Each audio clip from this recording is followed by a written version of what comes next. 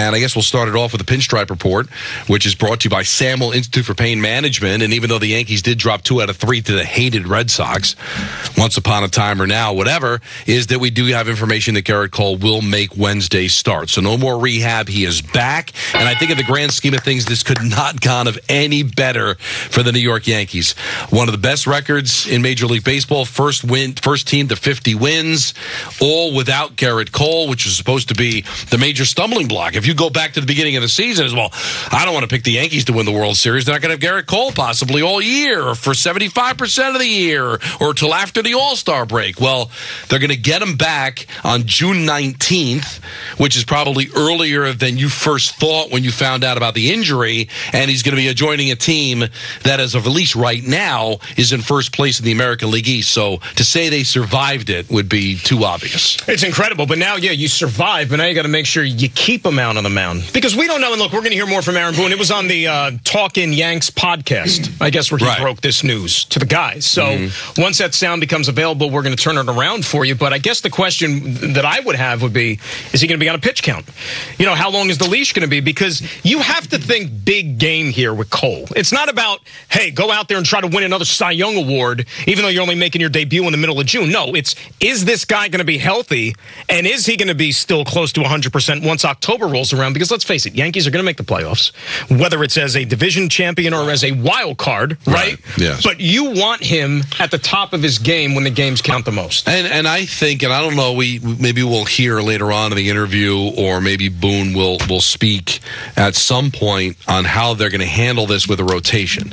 Now, the easy answer would be, well, Poteet will be sent down. He's the one that was scheduled to start on Wednesday anyway, and they'll just go back to the five man rotation, or do you run a six man rotation for, as you said, that kind of calms the waters for Cole when he comes back. So he's not throwing every fifth day. He's not exerting himself as he comes back.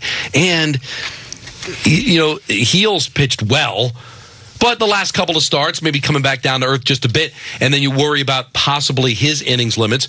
Uh, Boone said that there aren't any right now, but the, the logic tells you at some point he may need to miss a start or two to conserve his innings for the postseason.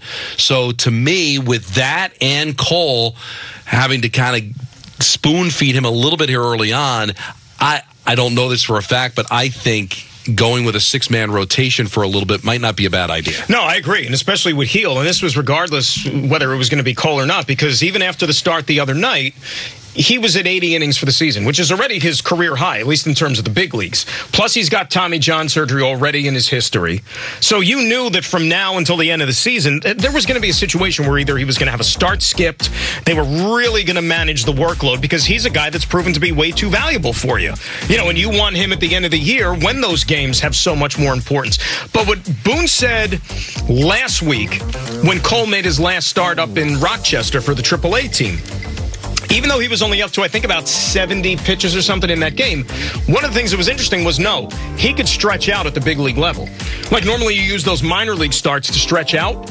Boone said no, he could still do that even if he's pitching for us with the big club. So I think that that's what they're going to end up doing. Now, look, I wouldn't pencil in for 100 pitches on Wednesday against Baltimore, but I think slowly but surely, and I don't think that that's the worst move. I mean, Don, we're not talking about a guy who's, you know, two years into the league, doesn't know how to handle himself and how to deal with the workload of getting in the flow of a season. I mean, this is the guy who, at the beginning of the year, we all thought was the best pitcher in baseball. Yeah. So I think he can handle this, and he knows his body, he knows his arm probably better than anybody else biomechanically would be able to tell him. I believe you're right. So I will see how they end up handling this. And the amazing thing about the Yankees, yes, they dropped two out of three from the Red Sox, and there's a lot of things to get into. You know, they ran roughshod over Torino. They they the bullpen was not great. Um, they stay they hit pretty well. It's just that they they lost. I mean, it's going to happen, right? You know, they they lost that game against Kansas City when they were on their way to sweeping. Came back, tied the game only to lose it in the ninth, and then you drop two out of three from Boston but they they're still an unbelievable baseball team. But here's the rub: mm-hmm.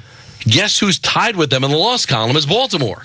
Now, I think the Yankees are going to win this division. I think they're more experienced. I think overall they're the better team. But to be sitting here having the start that the Yankees have had, which is rivaled the 2022 start, which is right up there with what Philadelphia has done. Philadelphia's got a nice cushion. What is it, eight games over the Atlanta Braves? Usually you benefit from having a nice breather between you and the second place team. Baltimore has not allowed that to happen.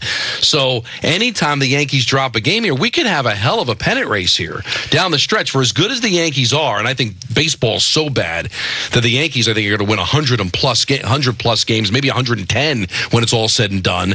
Usually, when you have a kind of season like that, you get the coast. I don't know if they're going to get a chance to coast. You could make a case that July 30th might decide the American League East because depending on what Baltimore and the Yankees do with the deadline to maybe bring in some reinforcements, that could put one team over the top. What's scary about Baltimore is they're sitting there with this record tied with the Yankees in the loss column, and they've got four starting pitchers who are on the shelf. Two of them underwent Tommy John surgery. Right. Kramer's got a strained tricep. Kyle Bradish, a sprained elbow, which could ultimately maybe land him under the knife. So Baltimore's losing guys left and right, but they haven't skipped a beat. No. That's what's and, scary. And financially, they will be able to run with the Yankees as far as making deals and adding salary when they get to the trade deadline. So I don't think Baltimore is going away. I would pick the Yankees to win it, but that's just kind of on a hunch because Baltimore has been terrific this year and they were very good last year. So they're growing into this. We knew that Baltimore was going to be the biggest threat in this division. I don't think we knew they would be this good this fast. So I don't think they're going away. And another scary thing is you look at the Yankees, they have mopped up on the AL Central. Yep. 16 and 2 against the Central Division. Well, the Orioles have as well. They're 8 and 2 against the Central Division. So, what does that tell you? That tells you that they still have another 10 games that they haven't played against the Central Division that the Yankees have. So they're going to probably continue to mop up. And plus, they're doing a terrific job in the division, much better than the Yankees in the American League East. So little indicators that Baltimore is not going away at and you're, all. And you're going to see a lot, and the Yankees are going to see a lot of the AL East coming up soon because I think it's like 16 of the next 24 leading into the All Star break. Yankees are playing AL East teams. Mm-hmm. You know, so I mean, you're going to get it. And look, I understand there's a couple.